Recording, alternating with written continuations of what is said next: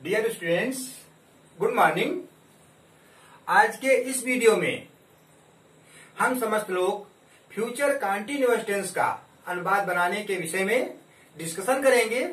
इसके पहले हम समस्त लोगों ने ट्रांसलेशन के अंतर्गत ही प्रेजेंट टेंस और उस प्रेजेंट टेंस के अंतर्गत present indefinite tense continuous tense perfect tense और परफेक्ट कॉन्टिन्यूअस टेंस का ट्रांसलेशन बनाने के विषय में चर्चा की है। इसी के साथ साथ में पास्ट टेंस के अंतर्गत भी हमने पास्ट इंडिफिनिट कॉन्टिन्यूअस परफेक्ट और पास्ट परफेक्ट कॉन्टिन्यूअस टेंस की अनुवाद बनाने के विषय में डिस्कशन किया है और साथ ही साथ में फ्यूचर इंडिफिनिट टेंस का अनुवाद कैसे बनाते हैं, इस विषय में भी हम समस्त लोग चर्चा कर चुके हैं। इन सभी बातों की ठीक से जानकारी मैं सोचता हूँ हो गई होगी। यदि किसी को किसी प्रकार की समस्या का समाधान करना है तो निश्चित रूप से वो हमारे डिस्क्रिप्शन बॉक्स में जाकर के इनसे संबंधित अपनी समस्या का समाधान कर सकते हैं। और ज़्यादा न बता करके सीधे मैं आपको इस फ्यूचर कॉन्टिन्यूस टेंस के अनुवाद को बताने के विषय में आपसे चर्चा करता हूँ। उसके पहले हम आपको एक बात और भी स्मरण करा देना चाहता हूँ कि यदि आप इस टेंस को भी अच्छी प्रकार से समझना चाहते हैं, आपके दिमाग में बात है कि हम इस टेंस को बनाने में बेहतर रहे तो आप हमारे इस वीडियो को भी प्रारंभ से लेकर अंत तक अवश्य देखें, जिससे आपको हर प्रकार की समस्या का, हर प्रकार के आपकी संदेह का निवारण हो सके।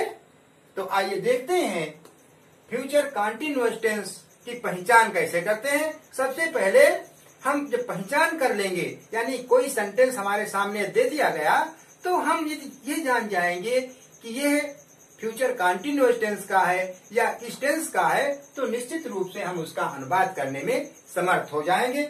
सबसे पहले जैसा कि बोर्ड पर आपके सामने मैंने लिख रखा है ट्रांसलेशन फ्यूचर कॉन्टिन्यूस टेंस। अर्थात इसके विषय में आज हम डिस्कशन कर रहे हैं।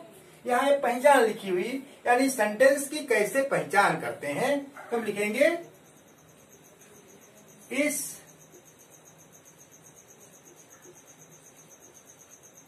टेंस में कार्य का भूतकाल में भविष्य काल में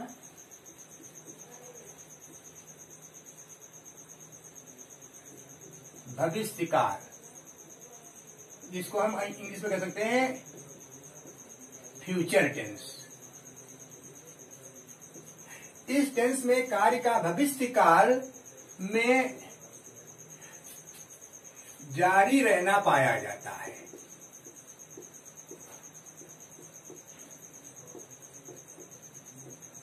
पाया जाता है अर्थात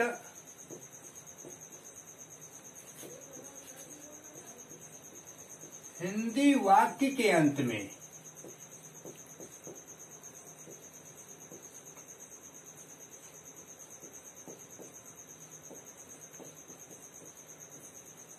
रहा होगा।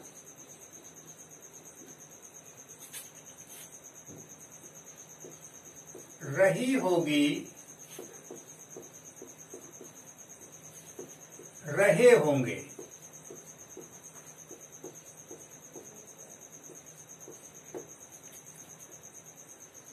शब्द आते हैं।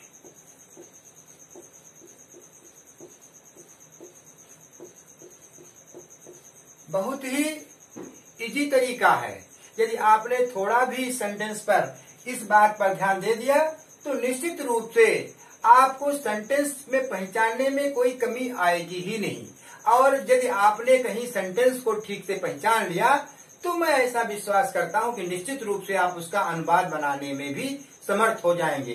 क्योंकि आपके लिए हमने जहाँ पर ये पहचान लिखी है, ठीक उसी पहचान के साथ में मैंने आपको किस प्रकार से अनुवाद बनाना है इस टेंस में, उसका फार्मूला भी मैं आपको दे रहा हूँ। तो देखिए, सबसे पहले इस बात को ही पुनः एक बार क्लियर कर लेते हैं। इस टेंस में कार्य का भविष्य काल में जारी रहना पाया जाता है। यानी, जैसे मैंने कह दिया, मोहन एक पत्र लिख रहा होगा।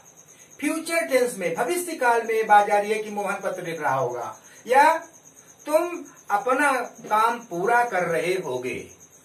गीता गीत गा रही होगी। संदीप पीछे से हंस रहा होगा। यानी इस प्रकार के वाक्यों में कार्य भविष्य काल में जारी रहता है। अर्थात हिंदी वाक्यों के अंत में रहा होगा, रही होगी, रहे होंगे आदि शब्द आते हैं। सीधा से इसका पहचान है। अब इस पहचान के बाद में जब हमें पहचान पता चल गई तो हम सीधे फिर अनुवाद का नियम सीखते हैं। अनुवाद का नियम।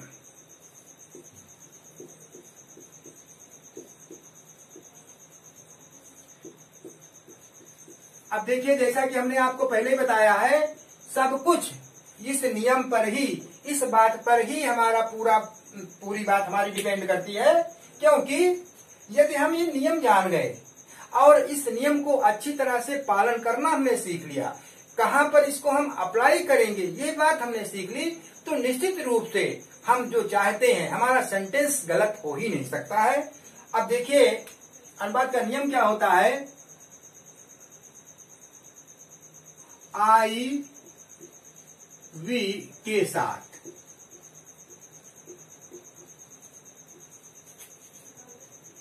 शैल। तथा अन्य कर्ता अर्थात अन्य कर्ता अदर सब्जेक्ट्स।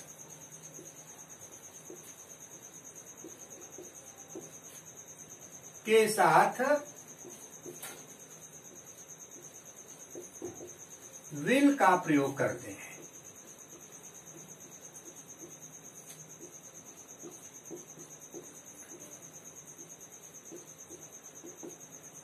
अब यहाँ पर ये सामान्य सी बात है, यानी कैसा भी सेंटेंस जब हम इस टेंस में बनाएँगे तो वहाँ पर यदि हमारे साथ में आई और वी आया हो तो उसके साथ में हम शैल का प्रयोग करेंगे, उसके अतिरिक्त यदि आई और वी को छोड़ दिया जाए, कोई दूसरा सब्जेक्ट दे दिया जाए तो हम वहाँ पर विल का प्रयोग करेंगे।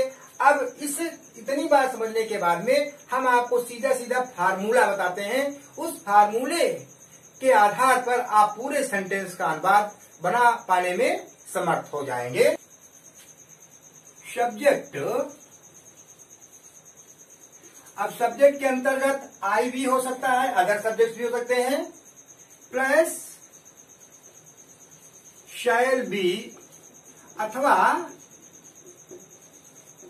will be plus verb first plus I N G और एट लास्ट ऑब्जेक्ट लिखते हैं।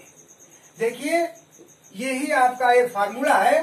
इस फार्मूले को यदि आपने अप्लाई कर दिया तो निश्चित रूप से आप फ्यूचर कॉन्टिन्यूस टेंस का असर्टिव सेंटेंस और असर्टिव सेंटेंस का भी एक भाग, अर्थात अफर्मेटिव या पॉजिटिव सेंटेंस बनाने में आप सीख जाएँगे।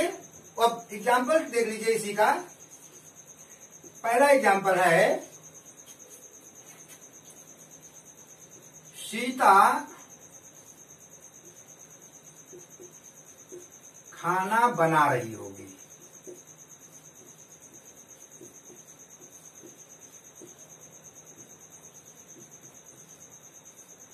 अब यहाँ पर सबसे पहले हम इस सेंटेंस में टेंस की पहचान करेंगे। तो जैसा कि ऊपर मैंने बताया है, रहा होगा, रही होगी, आया होगा। तो यहाँ पर क्या होगा? रही होगी लिखा है। अर्थात ये सेंटेंस हमारा फ्यूचर कंटिन्यूस टेंस में आ गया। अब इतना जानने के बाद में दूसरी बात हमने देख लिया कि बिल्कुल सिंपल सा वाक्य लिखा है।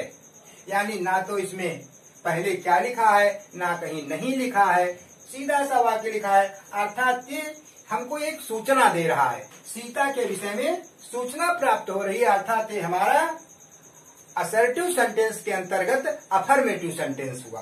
तो अब जब इस सेंटेंस का अनुवाद बनाएँगे तो लिखा है आई वी के साथ में शैल तथा अन्य सब्जेक्ट के साथ में विल का प्रयोग करते हैं। तो ऐसी स्थिति में यहाँ पर सब्जेक्ट है सीता अब सीता में इसके साथ में शहर भी और विल भी में सिल विल भी लगाएँगे। सीता विल भी खाना बनाना। कुक मीन्स बनाना होता। कुकिंग यहाँ लिखा है work first plus NG cooking फिर ऑब्जेक्ट है खाना। कुकिंग द फ़ूड इस प्रकार से हमारा ये सेंटेंस कंप्लीट हुआ। उदाहरण के लिए, दूसरा सेंटेंस आपके सामने मैं दे रहा हूँ। उसको देखिए। और हमारे इस सेंटेंस को बनाने से पहले आप भी उसको चाहें तो अपने अनुसार आप ट्राई कर सकते हैं। और उसके बाद में आप यहाँ पर मैच करें कि क्या हमारा सेंटेंस वही है जो सर ने बोर्ड पर बनाया है? सेकेंड सेंटेंस सेकेंड एग्ज़ाम्पल लड़के कक्षा में शोर मचा रहे होंगे।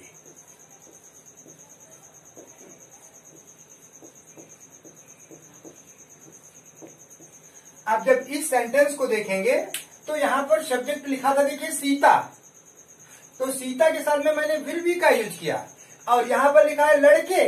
अब यहाँ पर भी हमको ध्यान देना मैंने पहले बताया आई और वी के साथ में ही केवल शैल का प्रयोग होगा। अदर सब्जेक्ट के साथ में विल का ही प्रयोग होगा। तो ऐसी स्थिति में लड़की की अंग्रेजियाँ लिखेंगे the boys the boys will be शोर करना मेकिंग अनवाइज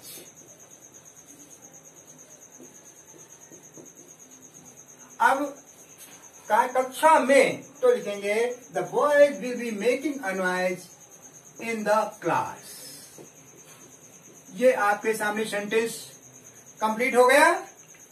अब मैंने जैसा कि आपको सजेस्ट किया था कि आप चाहे तो सेंटेंस लिख करके आप स्वयं अपना अनुवाद बना करके और इस सेंटेंस से मैच कर ले कि वास्तव में क्या मेरा सेंटेंस वही बना है जो सर ने बोर्ड पर बनाया है।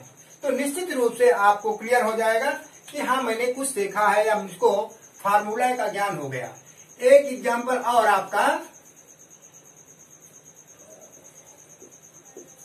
सत्यम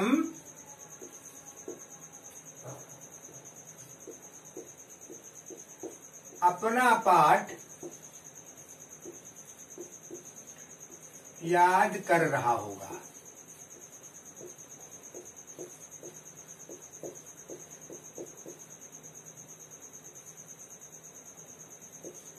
अब इस सेंटेंस को भी जब देखेंगे तो पुनः यहाँ पर सत्यम लिखा हुआ है। जब सत्यम है तो हम यह सीधे लिखेंगे, सत्यम विल बी याद करना। याद करने के लिए यहाँ पर लर्न का यूज़ करेंगे। अर्थात लिखेंगे विल बी लर्निंग अपना पाठ मैंने पहले बताया था, अपने एक इंग्रेजी यहाँ पर हिज होगी। हिज लेसन अब ये हमारा सेंटेंस बन गया। अब थोड़ी सी बात आपको और पुनः यहाँ पर हम क्लियर करना चाहते हैं। अपने की अंग्रेज़ी। अपने की अंग्रेज़ी। ज़्यादातर लोग, कोई भी विद्यार्थी, मैं देखता हूँ, जब हमारे सामने बात आती है तो अपने की इंग्लिश मिस करते हैं। कैसे? यदि ही शब्द आया, वाह। वह को इंग्लिश में ही लिखते हैं। लेकिन यदि वह के साथ में जब अपने की अंग्रेज़ी लिखनी होती है तो हम गड़बड़ करते हैं। तो ही थर्ड पर्सन का प्रोनाउन है। थर्ड पर्सन के लिए हम हिज लिखते हैं। अब हमको ध्यान देना चाहिए, चाहे कोई थर्ड पर्सन का प्रोनाउन आया हो तो भी हम यहाँ पर हिज लिखेंगे। या इसके अतिरिक्त यदि कोई नाम आया हो, अर्थात मैस्कुलिन जेंडर आया हो तो भी हम वहाँ पर अपने के लिए हिज का प्रयोग करेंगे। सपोज़ आ गया यहाँ पर सत्यम, और यहाँ है अपना अपना पाठ।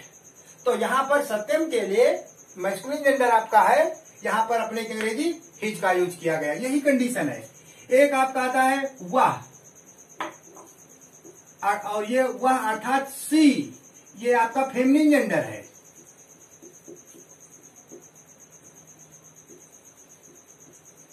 अब जब ये फेमिनिन जेंडर होगा तो इसके साथ में अपने की अंग्रेज़ी हर होती है। इसी के साथ में फिर आता है आपका दे। दे के साथ में अपने की अंग्रेज़ी देयर होती है। T H E I R और एक साथ में आपका आता है इट इट के साथ में अपने की अंग्रेज़ी इट्स होती है। उसी के साथ में एक आपका होता है वी वी के साथ में अपने की अंग्रेज़ी अवर होती है।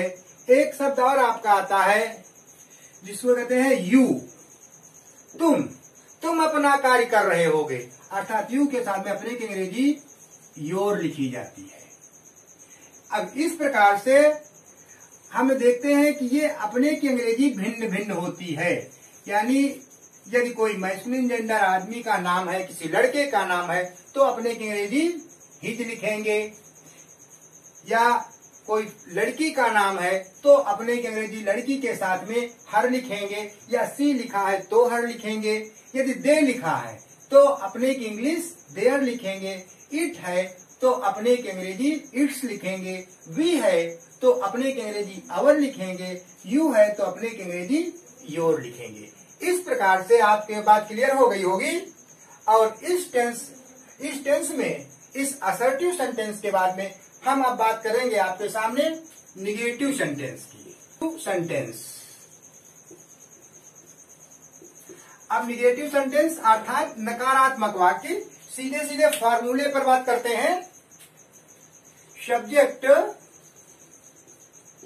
plus shall not be अथवा will not be plus verb first plus I N G plus object अब ये हमारा फार्मूला हमारे सामने आ गया। इस फार्मूले के तहत पुनः हम एग्जाम्पल्स देखेंगे, क्योंकि उस एग्ज़ाम्पल के आधार पर ही हम ये क्लियर कर पाएँगे कि हमारा सेंटेंस सही है या गलत है, या वास्तव में हम बनाना सीख पाए हैं या नहीं। पहला एग्ज़ाम्पल बढ़ाई। मेज नहीं बना रहा होगा।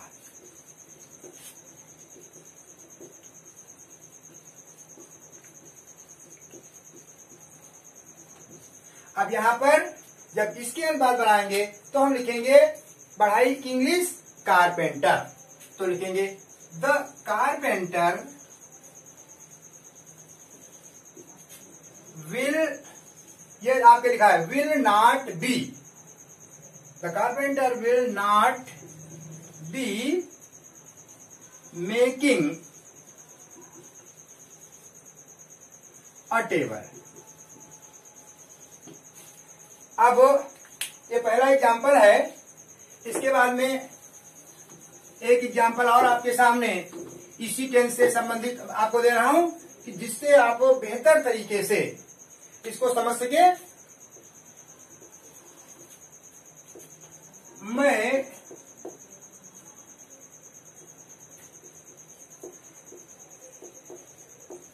तुम्हारी प्रतीक्षा नहीं कर रहा हूँगा।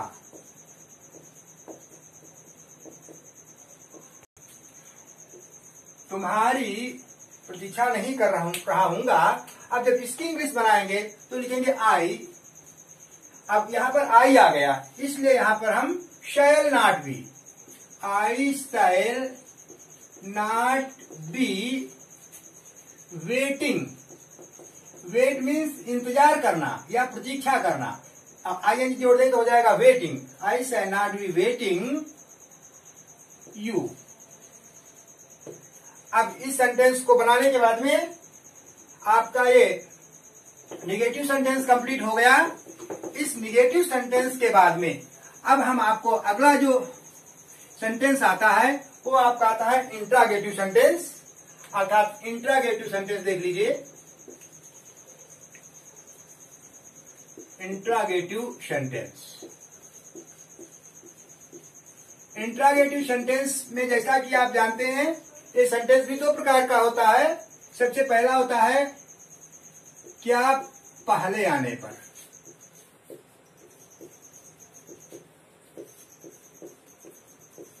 जब क्या पहले होगा तो हम सबसे पहले शायर अथवा will plus subject plus be plus verb first plus I N G plus object अब इंट्रागेटिव है, इसलिए क्वेश्चन मार्क कंपल्सरी है। ये हमारे सामने सेंटेंस आ गया। और इसी के साथ में जब ये क्या आया है, दूसरा दूसरा है क्वेश्चन वर्ड वाक्य के बीच में आने पर।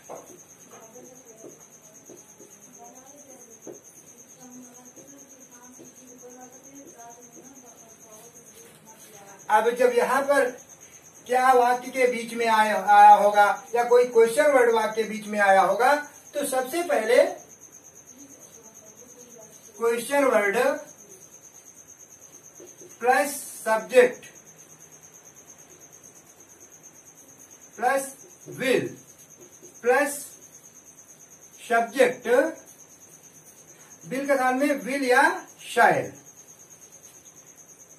plus be plus verb first plus I N G और उसके बाद में ऑब्जेक्ट एडवांस क्वेश्चन मार्क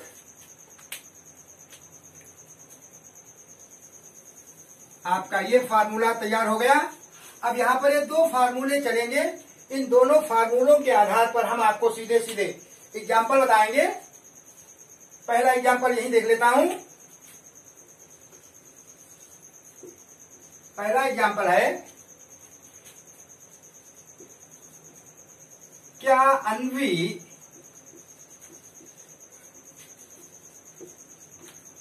पत्र लिख रही होगी?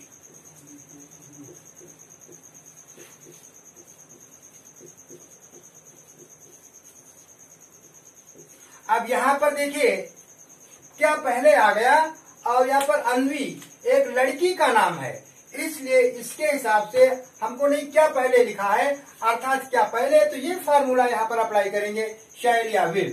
तो अनवी है, इसलिए हम यहाँ पर लिखेंगे will. Will Anvi. B.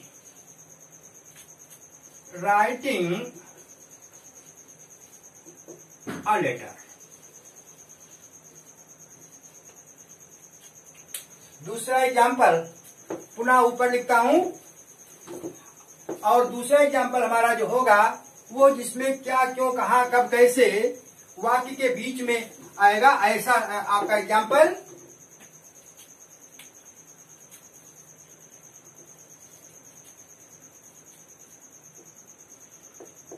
Rakesh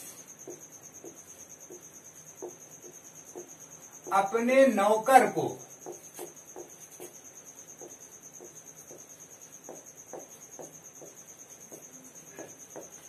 क्यों डांट रहा होगा?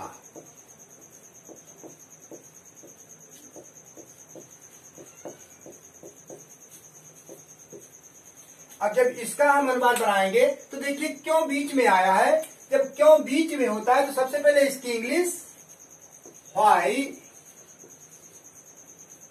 वाई विल अब subject why will Rakesh be डांटना scold why will Rakesh be scolding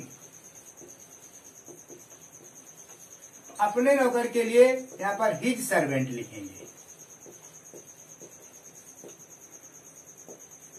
अब इस प्रकार से ये हमारा इंट्रोगेटिव सेंटेंस था, जो अगला सेंटेंस होता है, वो आपका होता है interrogative negative interrogative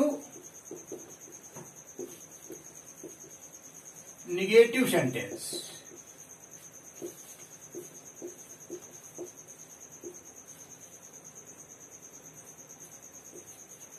अर्थात इंटरागेटिव निगेटिव में क्या पहले और नाट बीच में आता है? तो इसके लिए भी वही फार्मूला है जो ऊपर मैंने लिखा था। सबसे पहले क्या पहले होता है? क्या पहले नहीं बीच में? यानी क्या भी होगा और नहीं भी लगेगा। ऐसी स्थिति में शैल अथवा will plus subject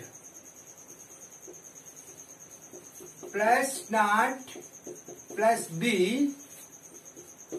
verb first plus I N G plus object at last question mark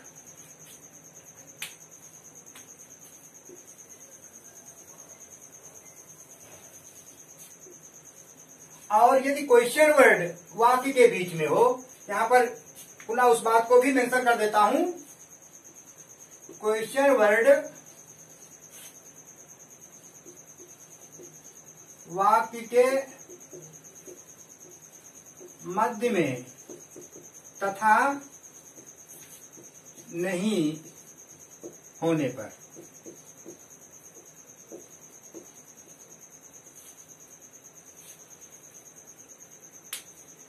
सबसे पहले question word.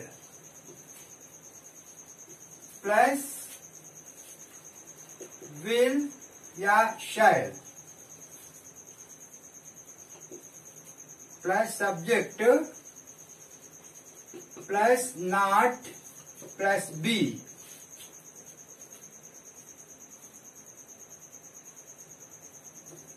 Plus verb first.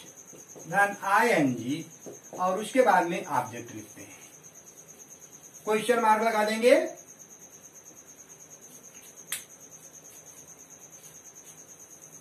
अब ये आपके सामने फार्मूला आ गया। अब यहाँ पर ये दो फार्मूले आ गए। इन दोनों फार्मूले के एग्जाम्पल्स भी आप देख लीजिए। पहला है एग्ज़ाम्पल क्या राजू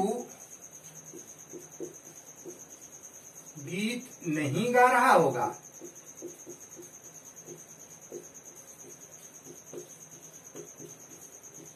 अब जब इसका अनुवाद बनाएँगे तो हम लिखेंगे, राजू के हिसाब से will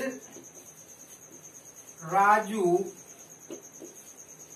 not be singing the song क्या राजू गीत नहीं गा रहा होगा? अभी आपका पहला एग्ज़ाम्पल है। दूसरा एग्ज़ाम्पल पुनः देखिए। दूसरा एग्ज़ाम्पल में हम क्या, क्यों, कहा, कब, कैसे आदि जो क्वेश्चन वर्ड्स हैं, उनको आप बताना चाहते हैं। एग्ज़ाम्पल नंबर टू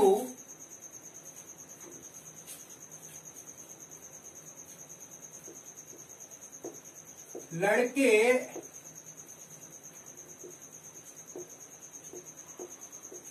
कक्षा में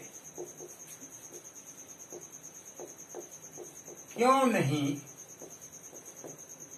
लड़ रहे होंगे?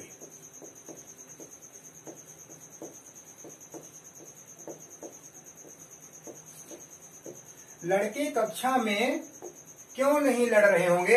अब जब इसका अनुवाद बनाएँगे तो हम कहेंगे, क्यों की इंग्लिश पहले? Why will the boys not be लड़ रहे हैं? अर्थात क्वेरलिंग क्वेरलिंग मीन्स लड़ाई झगड़ा करना। कक्षा में हमेशा फाइटिंग नहीं होती है क्वेरल होती है बच्चों के बीच में। तो भी हमको ध्यान देना है। तो लिखेंगे why will the boys not be quarrelling कक्षा में इन द क्लास अब इस प्रकार से ये हमारा सेंटेंस कंप्लीट हुआ। एक चीज़ आपको मैं और बताना चाहता हूँ, जिसको आप नोट करके आप लिख लीजिए। नोट नोट या विशेष। यदि वाक्य में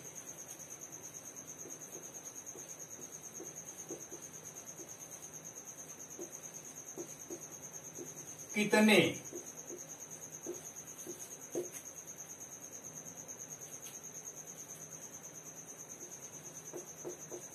कौन सा या कौन सी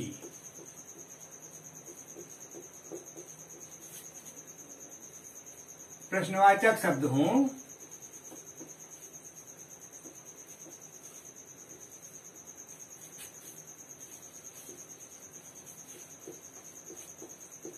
तो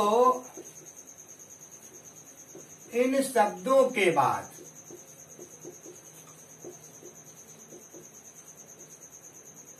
इनसे संबंधित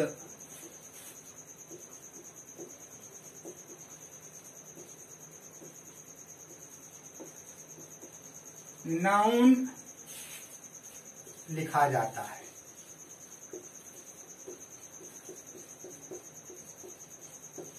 अब देखिए ये, इसलिए यहाँ पर रिमार्केबल बात है, क्योंकि अभी मैंने ऊपर आपको बता दिया है कि यदि क्वेश्चन वर्ड आ गया हो तो सीधे सीधे विल का प्रयोग आया, या सेल का प्रयोग आया, लेकिन यहाँ पर कुछ ऐसे शब्द आ गए, जिनके बाद में सीधे से संबंधित नाउन आ जाता है।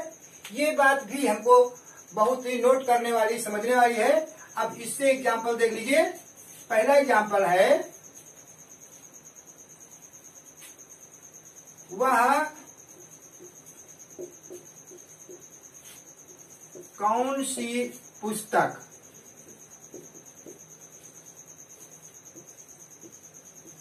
नहीं पढ़ रहा होगा।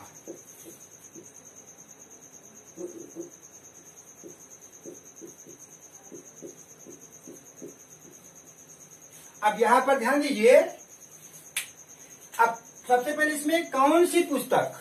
यहाँ पर लिखेंगे विच बुक अब इसके बाद में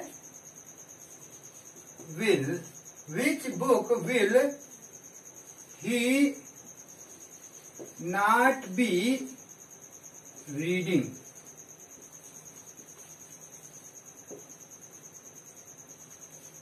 question word example number two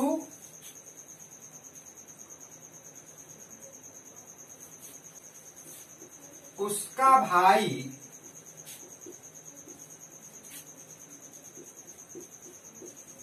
प्रतिदिन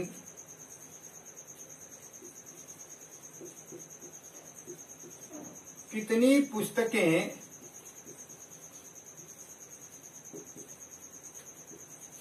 बेच रहा होगा? एक चीज़ ध्यान रखिए, अब यहाँ पर ऐसा नहीं है कि हम ये भूल गए हैं कि इसमें नहीं आया है, इसमें नहीं नहीं आया है। अब ऐसी कंडीशन हाँ। ऐसा नहीं है कि यहाँ पर नहीं है और इसमें नहीं मैंने छोड़ दिया है। यहाँ पर केवल आपको समझाना है कि यदि विच आया है या कौन सी कितने आया है तो हमारा सेंटेंस इंट्रागेटिव निगेटिव अथवा केवल इंट्रागेटिव भी हो सकता है। इस सेंटेंस को देखिए। पहले यहाँ लिखा है, उसका भाई प्रतिदिन कितनी पुस्तकें बेच रहा होगा? कितनी पुस्तकें? तो यहाँ लिखेंगे, नंबर की बात है यहाँ पर। यहाँ लिखेंगे how many how many books his brother